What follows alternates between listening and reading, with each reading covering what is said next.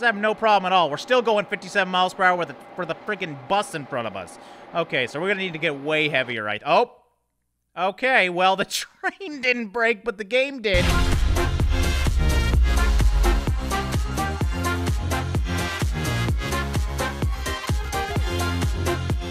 What is going on, guys? Drae here, and welcome to Jurassic Park. Yes, BeamNG now has freaking dinosaurs. Uh, at least that's what the mod says. I have not walked in, walked into the park. No, we're playing BeamNG. We're driving into the park. Uh, but I have not driven into the park yet because I wanted to experience this with you guys. So we're in our Jurassic Park cruiser here, and uh, hopefully it's not like the movie where T-Rex eats us because uh, I'm not too keen on dying today. Also, what the hell is that noise? Sounds like a dying cat or a cat with a major cold or something. All right, let's go see what it is. So there's supposed to be a platoon that joins me. I don't know if it's working or not because I think I'm all alone. That or they already got eaten. So uh, hopefully them instead of me. What the hell does that say? Is that like a giant post-it note? Do not exit the vehicle. Dude, we're playing BeamNG. I've, I've never been able to exit a vehicle in this game. Oh, decisions. We can either go left or right. All right, I'm assuming it's a big circle, so it should hopefully wrap back around. Seriously, where's my team? I, I, I guess we're going alone on this one. And yes, we have our first experience at some dinosaurs that look a little flat in my opinion. I didn't know if these would be animated or not. Uh, I don't know if they are. But hey, we're going to experience Jurassic Park and BeamNG. Look at that, though. Isn't he beautiful? Just going to do some teleportation abilities here. And, uh, oh, God. Oh, God. Oh, God. This is, this is bringing me back to the movie. Excuse me. Excuse me, long neck boy. Oh, and he's gone. All right, don't get me wrong. Long neck boys are great, but I'm waiting for the, the predators. I see one up ahead. Is that the big boy himself, the T-Rex? The paper version, of course, because these guys are flat. Uh, so I'm, I'm, I'm not too scared right now. I don't know if a paper T-Rex is really going to hurt me too much. But yeah, he's chilling. These, uh, these enclosures seem a bit small for these giant dinosaurs. I'm not going to complain. But by the way, that's not the smartest idea to build the T-Rex enclosure inside of a mountain that he can probably pretty easily climb. So I don't think safety was Jurassic Park's first uh, priority, and to be fair, I mean, there's been 15 movies where everybody dies in it, so uh, yeah, that's to be expected, I guess. All right, going out to the sea now. Do we have a sea-based creature? There's actually an enclosure there, as you can see. Uh, please tell me. Oh, hold on. I have, I have to go down and see. Because, oh god, I forgot I don't have brakes! I don't have brakes! Okay, well, if there is something in here, I am definitely its food. Can I still drive? Oh my god, what is this thing made out of? I've never been able to drive a vehicle underwater. I'm not really sure what's going on anymore. And bam, we are back on mainland. Okay, whoa! I think I fixed my vehicle too, so I guess that resetting, yeah, does fix it. There we go, now we got some serious speed. Seriously, this this is just this is just cruel and unusual punishment now. Look, look at this guy. The cage is like double the size of him. Imagine living in that. Okay, I, I gotta call PETA on these guys. All right, and we're back at the bend, I believe, to the outer parts of the park. So yeah, there is uh, Jurassic Park in a nutshell, guys. I, I didn't die to dinosaurs, but I did just crash into the jungle, so that's great. All right, and it's been a while since we checked out a train in BeamNG. This is a rather new one. It is the Onion Pacific WLD FS30-2 diesel electric locomotive. Now, what's even cooler is we are on the first train racing track. Yes, I never expected to see a train with a checkered board crossing at the front of it. Uh, this is actually an amazing idea. Why is this not a real thing? Why is there not train racing? Because I love that idea. So yes, this was designed to either race or do train drifting where you can actually separate the tracks. Not really sure how that works. I really hope we can get a drift going on, though, because that sounds amazing. Now, let's check out this train first, though, because it has a lot of controls. All right, let's try and get this baby moving for once. So there's a lot of uh, setup for this. This thing actually took seven months to make, by the way. So props to the developer for fully developing a train from scratch using J-Beam, which is really impressive. All right, Un engine's already on, so we don't have to do that part. We need to release the air brakes. Now we want to go forward, so L, I believe, means forward. Yeah, the range box. I don't even know what a range box is, but L equals forward, so that's the way we're going. Okay. We are officially moving, ladies and gentlemen. I'm pressing the button that I didn't expect we needed to press, but it is giving us forward momentum. Now, I think we can change into different gears. We'll try and get up to full speed in this gear, and I think it's got eight gears, so obviously this is not as fast as this thing goes. I want to see how fast it goes, because obviously trains are fun to crunch things with, and that's probably what we're going to do with this thing. All right, 29 miles per hour, 30 miles per hour. That's pretty impressive in a train. Let's hit this again. Oh, yeah, there we go. We're going to be able to make this puppy fly.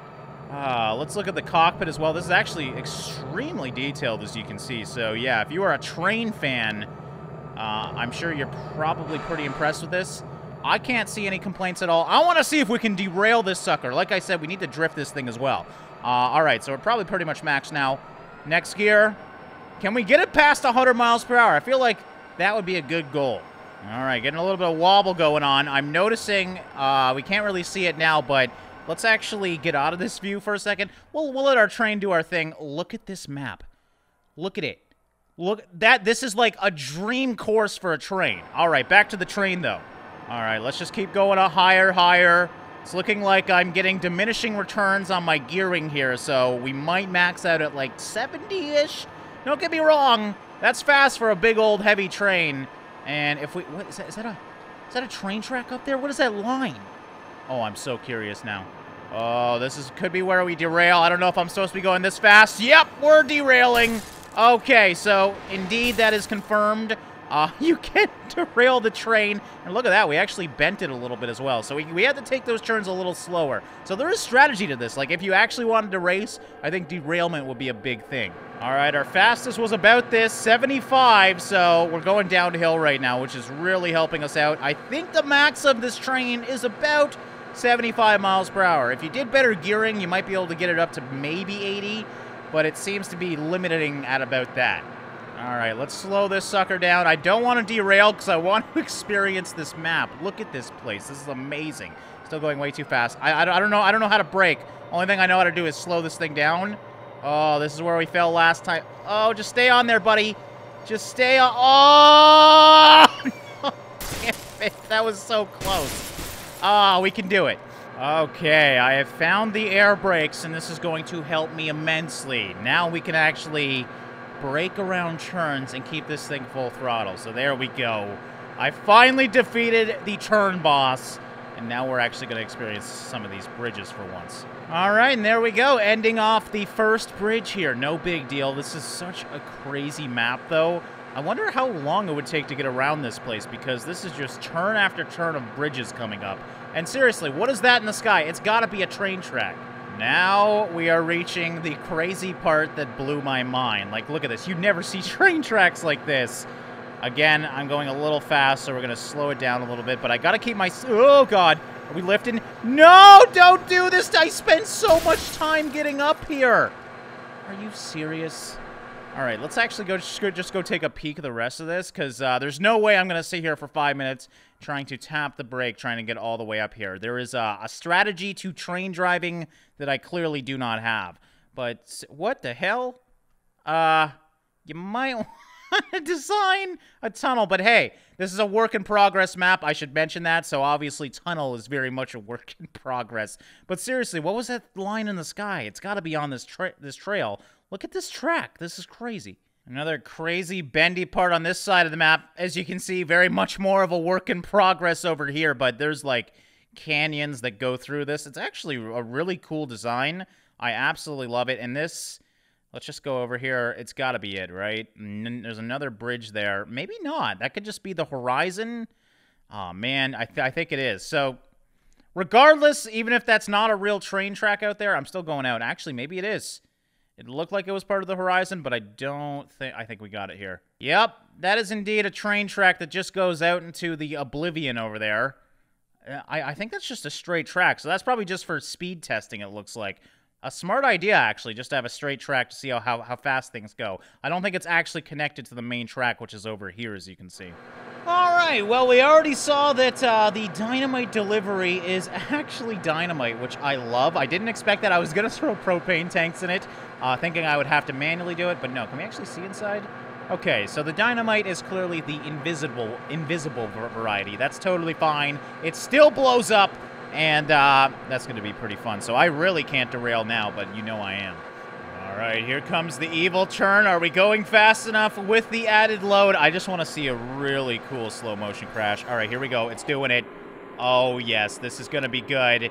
Will it explode, though? Oh, it's going to totally explode. Come on, baby. There she goes! Didn't actually affect the front as much as I hoped for. Uh, this is a very heavy engine, obviously, but still, we had some destruction there, and that felt a lot better than the generic crashes that we've been doing before. Uh, gotta say, I've used quite a few trains in this game, and the J-beam for the trains is very lackluster usually. This thing actually bends. You can see the engine in here. It's quite detailed, uh, which is always nice. Now let's try and run a giant train into uh, some vehicles, because that sounds fun.